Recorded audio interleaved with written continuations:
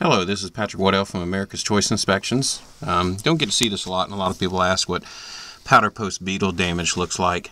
And uh, this is what it looks like.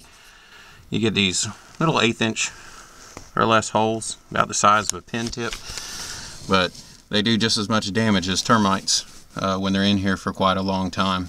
Uh, this is throughout the substructure of this particular house, and we'll recommend to have a engineer come out and fully evaluate it and make all repairs as needed. You or someone you know are in need of a home inspection, please feel free to give us a call.